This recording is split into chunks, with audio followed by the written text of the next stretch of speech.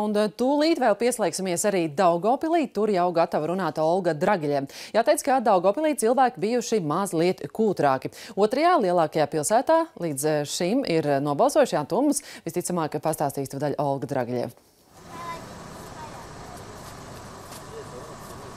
Labvakar, Laura! Sveicināti skatītāji! Pēc uh, Centrālas vēlēšanu komisijas datiem pašlaik uh, Daugopili ir nobalsojuši 44,5% balstiesīgo vēlētāju, un Daugopili tas ir daudz, jo jau tagad vēlētāju aktivitāte ir augstāka nekā pirms četriem gadiem, kad notikušas iepriekšējas pašvaldību vēlēšanas.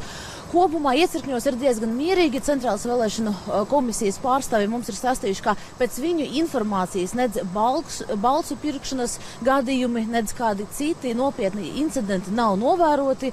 Um, vienīgais drošības policija tagad novēro kādu koncertu, kas notiek netālu no uh, vēlēšanu iecirkņa Daugavpilī un uzmina, lai tur nenotiktu uh, kāda aģi, priekšvēlēšana aģitācija vēl laikā, kad cilvēki balso. Tas ir līdz desmitiem.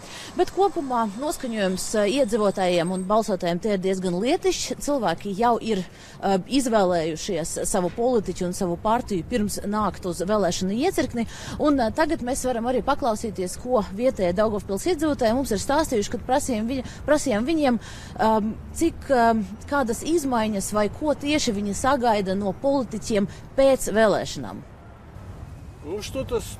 Jāizdara, kas paliekošs pilsētai un visiem noderīgs, un es nerunāju tikai par darba vietām. Mani sports interesē.